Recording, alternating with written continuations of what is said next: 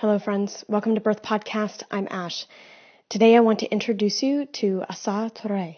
She is a French activist in Paris, a black woman whose brother was killed by police four years ago, and a mother of two. The French protest for Black Lives Matter is an important one. They, like the US, are fighting for their breath and equality in their society. They feel the US protesters. They know it on a soul level. Assa was recognized by BET for her international voice, and she is a revered woman here, so I'm thankful she shared her time with me. Her words are in French, and if you're not a French speaker, the subscripts are available on the YouTube channel for the podcast. All applicable links will be in the description box. If you do speak French, you can listen through the piece here. I urge you to hear her and learn and be challenged, as I have. Listen in. Moi, euh, nous, on a grandi euh, dans une petite ville à Beaumont-sur-Oise, à moins de 10 000 habitants. Mais comme je dis à chaque fois, l'histoire d'Adama Traoré, elle commence pas le jour euh, de sa mort. Elle commence le jour de sa naissance, quand tu vas naître dans cet hôpital le 19 juillet 1992, parce que mon frère a été tué le jour de son anniversaire, le jour des 24 ans.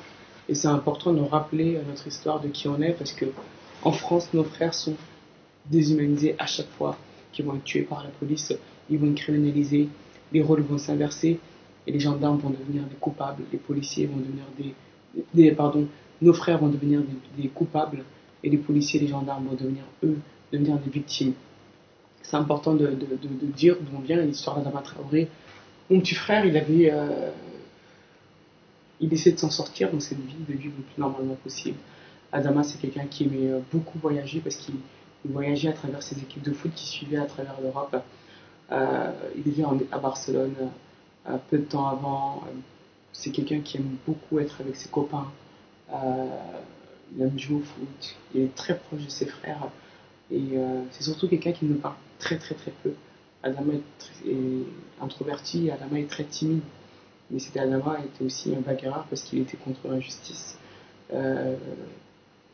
il y avait un acharnement aussi hein, de la part de, la police et de la gendarmerie euh, depuis l'époque ils venaient souvent dans le quartier pour tous les contrôler et ça devenait euh, presque euh, un rituel que la police vienne dans le quartier mais qu'il y avait des interpellations. On avait développé une peur hein, autour des, gendarmes et de la police. C'est surtout que, que ce soit mon frère ou ces jeunes hommes dans, dans cette vie-là, bah, ils essaient juste de s'en sortir du mieux qu'ils peuvent. I want to take you to an important part of our conversation. In a recent New Yorker article, Assa said she shied away from the phrase white privilege. I'll put that link in the description box for you, but I asked her to explain more. She and her friend Karima unpacked that space. Frankly, it challenged me, and I am grateful for it. Euh, elle me pose la question que pensez-vous des privilèges blancs je dis, mais en fait, même ça, c'est il faudrait euh, sortir de ça. En fait, les blancs vont dire qu'il y a du privilège blanc, on va utiliser notre privilège blanc. Mais en affirmant ce privilège blanc, on affirme que nous, on reste encore inférieur. Mmh. Et en fait, il faut sortir de ça et de pas dire privilège blanc, mais le privilège blanc, il doit être à la même hauteur que le privilège noir. Et euh, il ne faut pas que le blanc, avec ce privilège, euh, cache encore le noir, même si en voulant l'aider. C'est très moi, j'ai C'est comme les quotas, en fait, positifs, la discrimination positive, les choses comme ça, c'est ça Non, parce qu'en fait, un blanc, il dit, moi, je vais utiliser mon privilège blanc ah. pour venir t'aider toi en tant que ah, noir. Ah, d'accord, ok. Ça veut dire que moi, en tant que, en tant que, euh, toi, en tant que le blanc, quand il te dit ça, carrément, en tant que noir, je t'aide dans ton privilège blanc, on montre encore au-dessus de toi. Mm. Et en fait, ça, non. Il faut pas, il faut faire attention à pas rentrer dans ça aussi, parce que le blanc, le noir ne doit pas rester derrière le blanc mais euh, le blanc, quand tu dois venir aider le noir, il faut qu'il se mette à côté du noir, au même, niveau, et en fait, on aura le même prix, on se bat pour avoir le même privilège.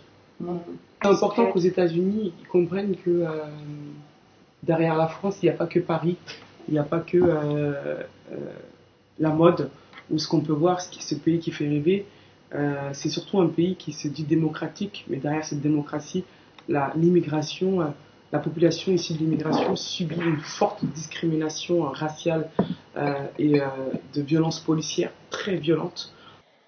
Assa's commentary is important. Her thoughts about white privilege are worth grappling with because it speaks to our need to stand in equality and alongside each other rather than assigning a status of above and below, whether you're on the right or on the left, no matter what your politics are.